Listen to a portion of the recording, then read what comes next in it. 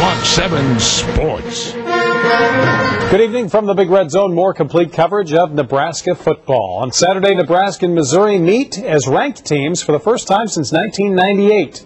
There should be plenty of offense this time around.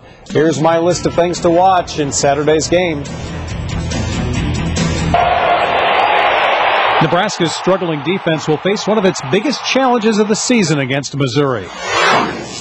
The Tigers' no huddle spread offense is off to a roaring start, scoring 38 points or more in each of their four games this season. Well, I think they've taken the next step. You know, the, the quarterback has a, a, a, much better command of the offense. Quarterback Chase Daniel ranks fifth nationally in total offense with over 1,400 yards in four games.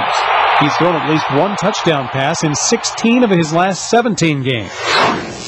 Daniel has plenty of targets, but redshirt freshman Jeremy Maclin brings the wow factor. He leads the nation in all-purpose yards, and he's the only player with 100 or more yards in rushing, receiving, punt returns, and kickoff returns.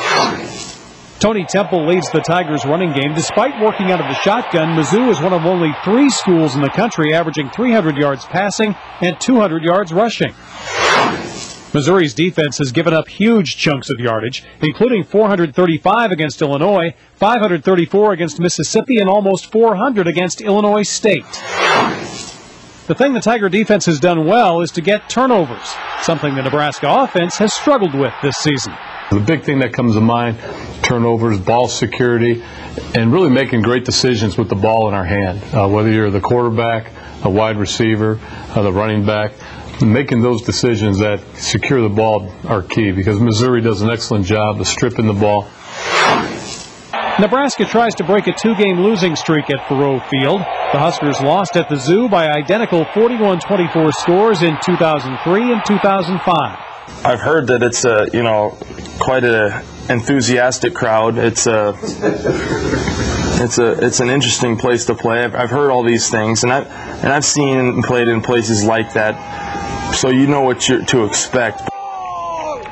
I'm not so sure about that, Sam. This is Missouri's Big 12 Conference opener. The Huskers are 1 0 in the league, which brings us to our Big Red Zone poll question at KETV.com. We asked who you thought would win the North Division, and 38% of you are sticking with the Huskers. Missouri finished second, followed by Kansas State. For more on the Huskers, go to the Big Red Zone page at KETV.com. A top 25 college